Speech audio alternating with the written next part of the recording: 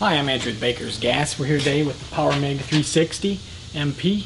Um, this is video number two. So today we're going to cover some uh, another like legacy menu where it has all the older settings, and then we're going to go Pulse MIG with this unit, and we're going to try and DC Pulse TIG with this unit. So let's dive right into the screen here. So you get into this legacy uh, menu, click on Select Process go select over. See it says mode list. Click on mode list. And then you can see here mode 1 and I think, let's just go scroll down, 1 through 196.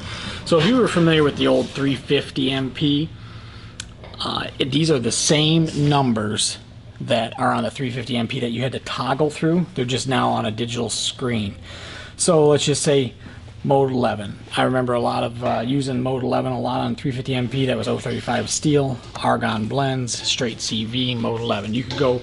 So this unit not only has the arc FX and the synergic MIG settings, but you can also just go back to the old style where you where you used to have to toggle through. Now it's all on a digital screen.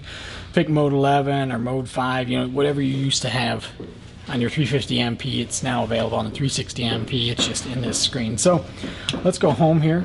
We're going to try and pulse MIG. So we're going to go over to the pulse MIG setting, or just the MIG synergic setting. We're going to pick steel. We're running 045 wire. We're running 9010 gas.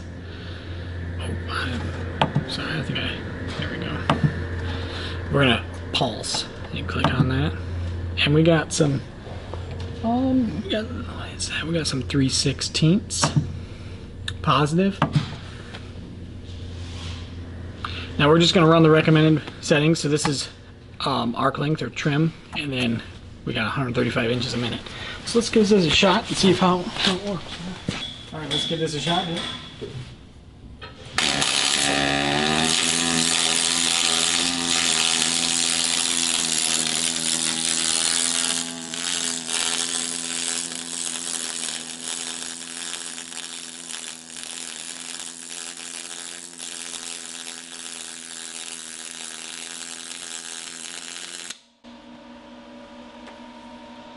Well, it's pretty good. So the pulse feature on this unit is for thinner sections of material, cut down on spatter. I'm not saying it's necessarily for thinner sections, though you can weld thick sections with it. Um, it just helps with distortion. So you're bouncing between a spray transfer and a short circuit transfer, and it's cutting down on distortion on the piece. Um, welded pretty nice on that pulse setting. Now remember we're running the 9010 gas because we are in spray transfer part of the time. Let's uh, let's throw together a little T-joint here. See how, see how it goes.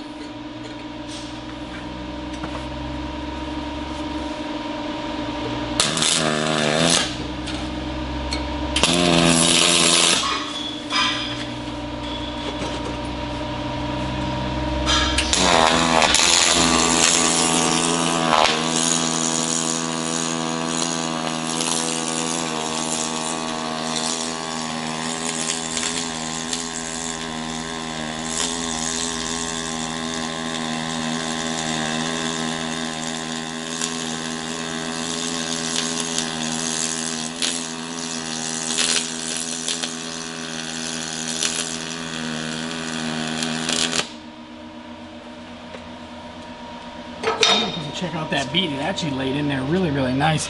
Um, so this was just a T-joint on Pulse. Nice flat shape to it. Uh, hardly any spatter as you can notice. I mean, not nothing stuck on the plate. Um, relatively thin material. Like I said, 3 16ths. I just run in the recommended settings. Pretty sweet. So let's uh, give this thing a shot. We're, we're gonna I'll show you how to hook up a TIG torch. We're to tear it down, get it into the TIG torch part. Um, into it here. Alright, so getting our TIG torch here hooked up. Uh, switched over to argon gas. We got to switch the gas port on the back because there's one side for MIG and the other side's for the TIG and spool gun. Remember though, when you're doing this, unplug the unit. Just because on the inside we're going to be messing with the terminals here. So, on the inside of this unit, right it gives us a negative and a positive. So we gotta undo positive terminal. Set that off to the side or undo the negative terminal.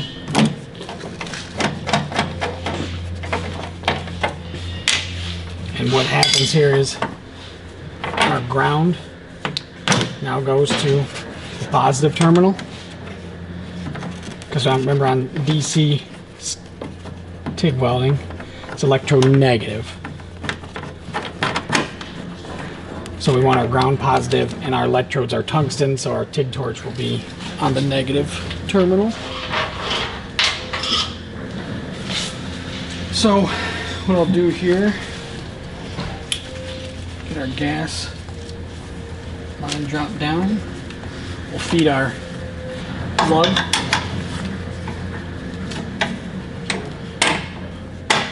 Put it to the negative terminal.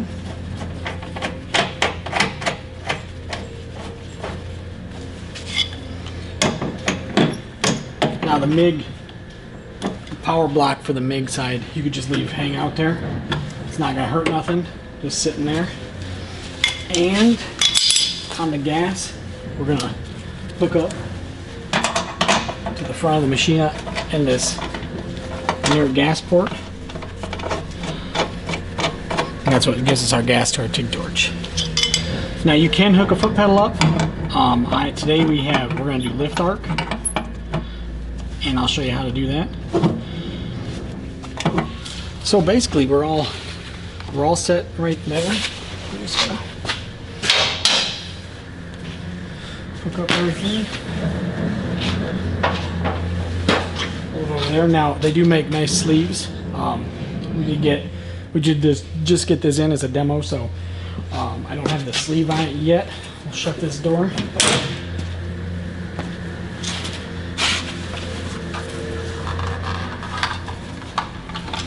plug our unit back in.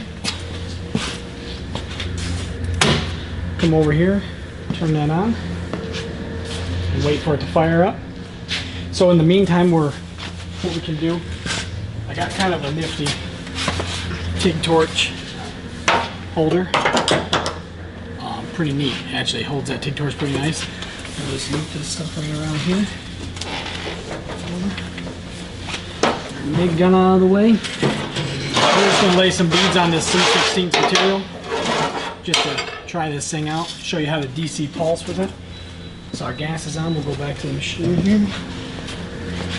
So, we go into our mode selector, we go select process. We're gonna go to TIG, we're gonna select.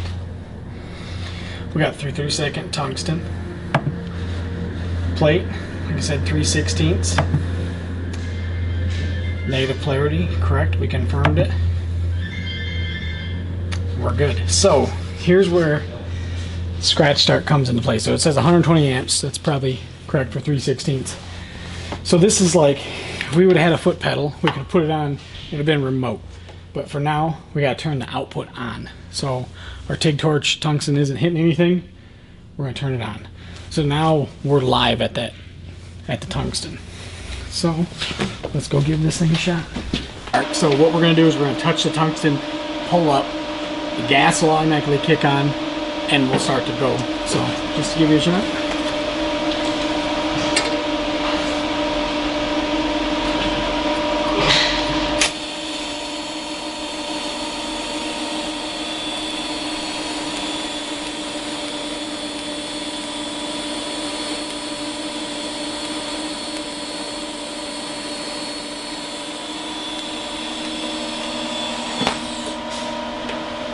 Pretty nice arc for uh, just a little lift arc TIG. I mean, that's pretty nice. So it just goes to show you the versatility of this machine. I mean, so we went from pulse MIG right over to uh, DC uh, TIG. So let's try, let's turn on the pulse setting on the TIG. So to turn that on, you go to weld setting, click on it. Oh, I'm sorry, you gotta turn your output off, go to weld setting. Go pulse. Then we can go TIG pulse 0.5 to 19 and a half, and then there's two ranges. So we click on the first one, it'll let us go all the way up to 19 and a half pulses. Let's just stick around. Let's do 10. And then we'll go back. So our pulser's on. We're going to turn our output back on.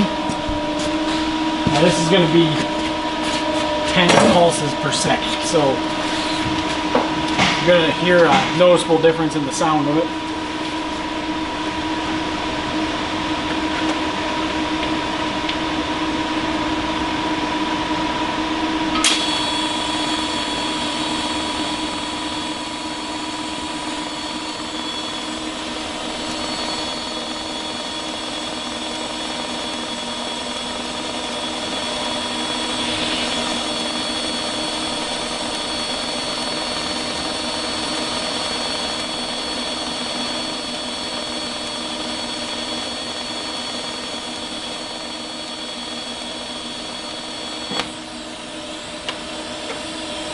Pretty cool. You can kind of see the light flicker there. That's 10 pulses per second. Now, kind of give us a little bit more ripple action. Let me turn it pulsing down here.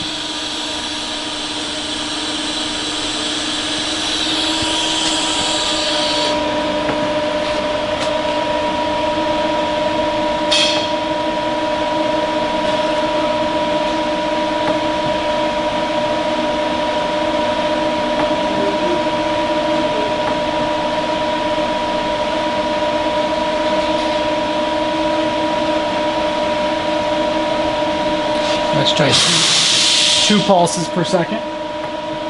Click on that. Go back. Turn our output on.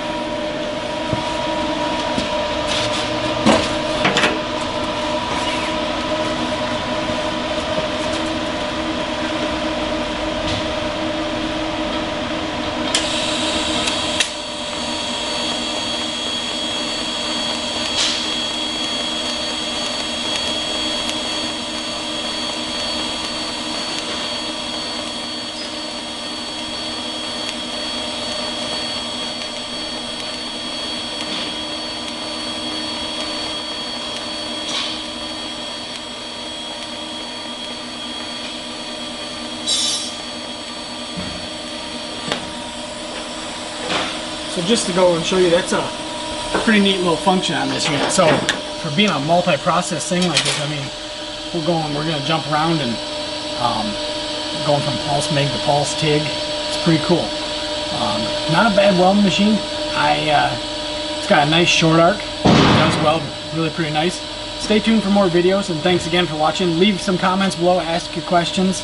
Um, and anything you ask, we'll try try our best to answer. Thanks again for watching.